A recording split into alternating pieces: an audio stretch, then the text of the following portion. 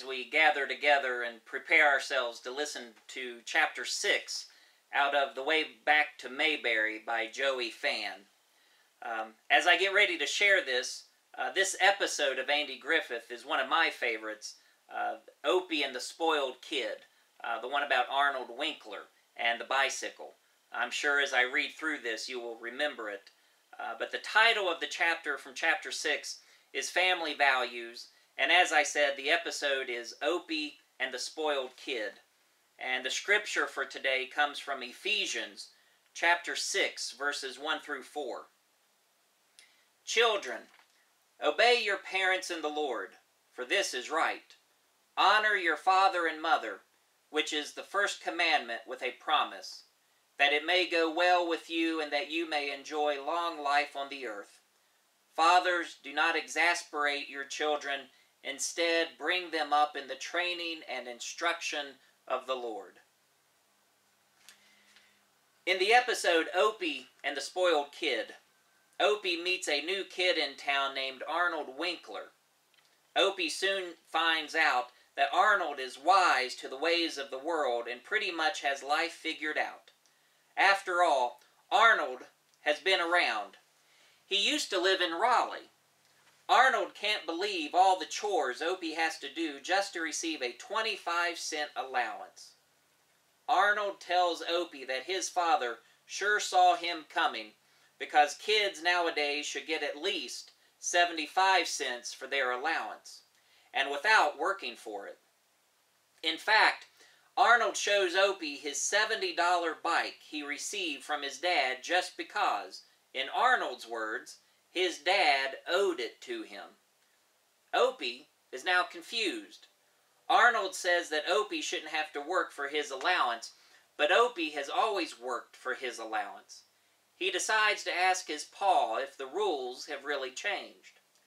What follows is one of the more memorable scenes of the show.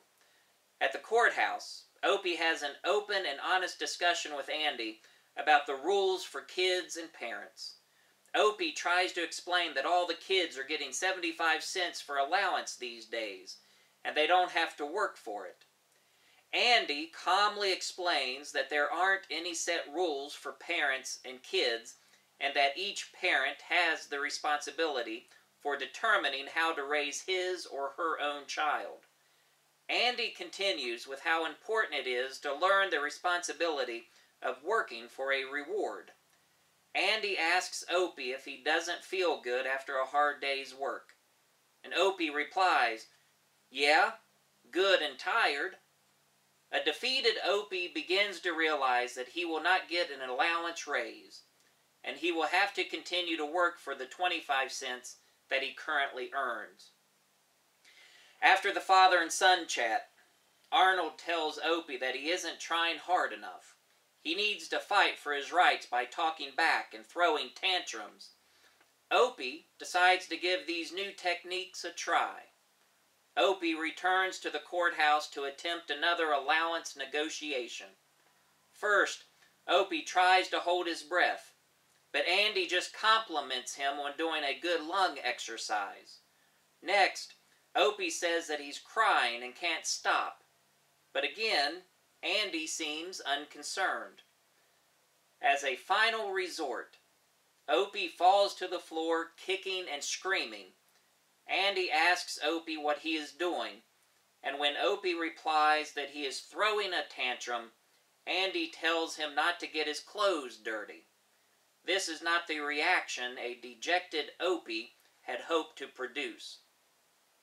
Meanwhile, Arnold continues to show his disrespect for any kind of authority by riding his bicycle on the sidewalk, even after Barney gives him a warning. Finally, Arnold flaunts the law one too many times, and Andy confiscates the bike. Arnold is furious and screams at Andy that he is going to go tell his dad.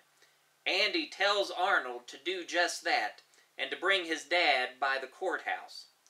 What follows is a scene that shows Arnold's true colors. Arnold wants his bike back, and it doesn't matter what it takes to get it. Arnold even offers his dad to be put in jail if that will get his bike back.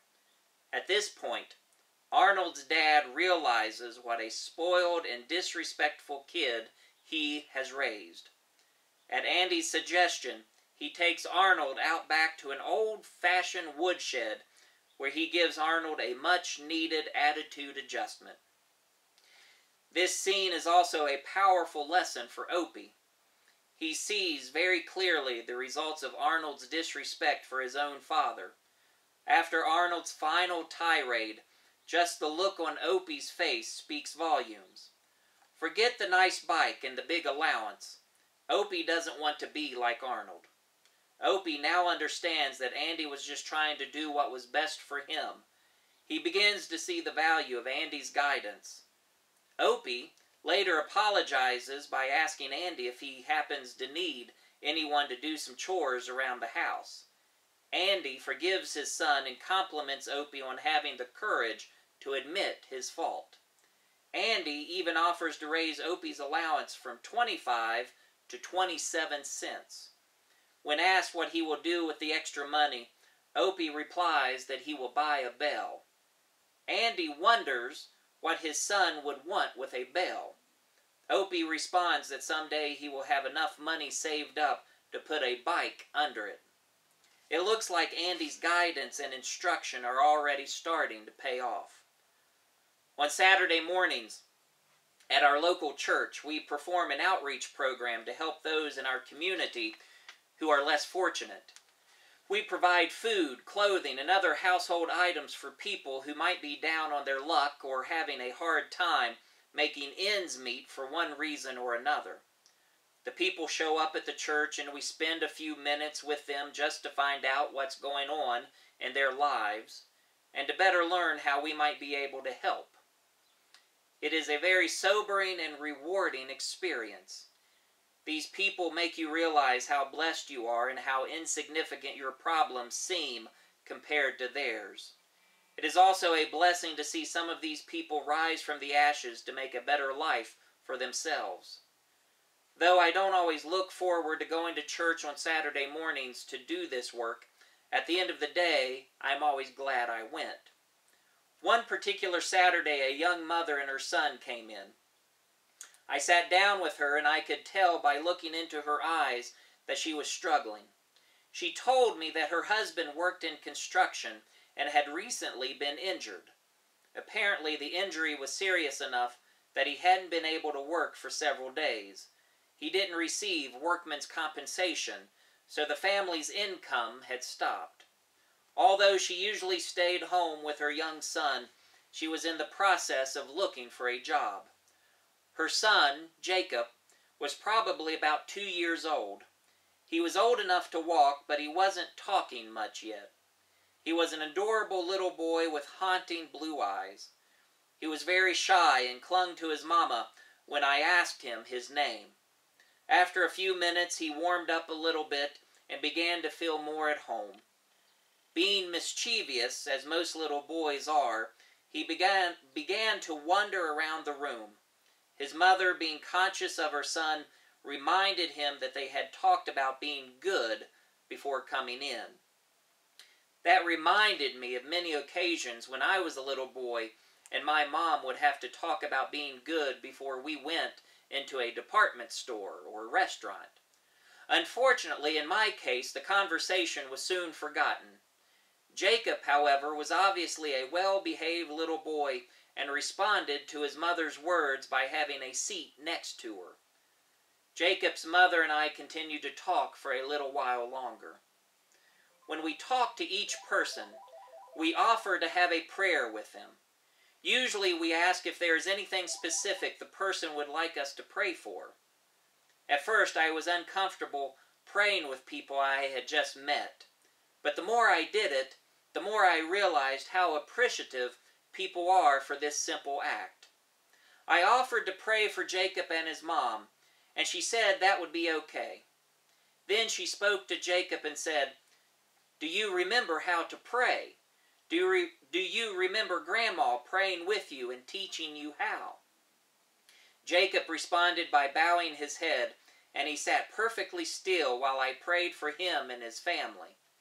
After we were through talking, I helped Jacob's mom load the groceries and clothes into their small truck, and as they were driving away, I began to think about what she had said. I wondered why Jacob hadn't learned to pray from his own mother and father. Did they leave that important training solely up to the grandmother? I wasn't blaming his parents because there was no way I could know all the struggles they were going through. In fact, all I could see in the mother's eyes was a lot of sadness. But somewhere the responsibility of instilling a basic value to her son had been lost. It seems that this generation has lost sight of the responsibility to instill values into its children. We are led to believe that it is the church's responsibility, or the schools, or the government's, or the grandparents. But what is so important in our lives that would keep us from teaching our children the values that will last a lifetime? The values that define who we are and what we are about.